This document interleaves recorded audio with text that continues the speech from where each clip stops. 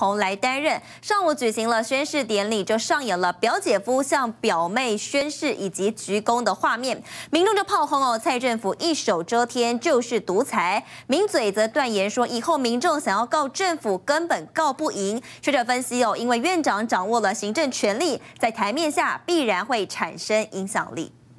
举右手宣读誓词。举手宣誓的吴明宏正是总统的表姐夫，向自己的表妹宣誓就任最高行政法院院长。难道家天下连演都不演了吗？向监视人鞠躬。总统不避嫌亲自出席，有史以来第一次，表妹当总统，表姐夫当最高行政法院院长。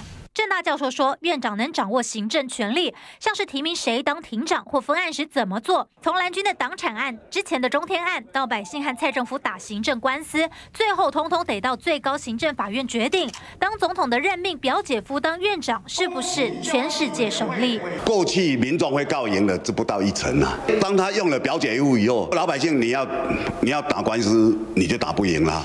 换句话说，以后所有告小英政府的行政诉讼，最后通通是总统表姐夫管的法院决定。网友大骂：台湾就是蔡皇家，内举不避亲，国家就是我家，百姓要如何和总统抗衡？就是他独裁，他一手一手一手遮天的，统统从里到外都是他的人，你怎么搞？会不公平啊，因为都是他们自己人啊。蔡英文在搞家天下，政坛的一个耻辱。表姐林美珠在小英任内当过劳动部长，这回换表姐夫接掌最高行政法院院长，蔡总统内举似乎真的不比情。记者陈旭、陈进台北采访报道。